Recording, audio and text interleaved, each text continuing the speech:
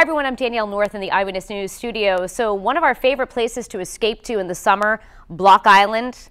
Block Island is now trying to block people from doing just that. They have issued a shelter in place order. We're learning some of the details this morning about what that means.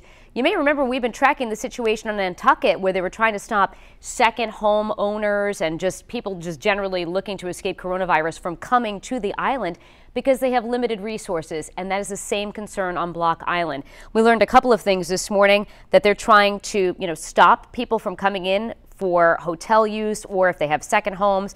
We also understand that non-essential work has to stop there. That, of course, means hotels, restaurants, bars. They're trying to block uh, further reservations to keep the island residents safe.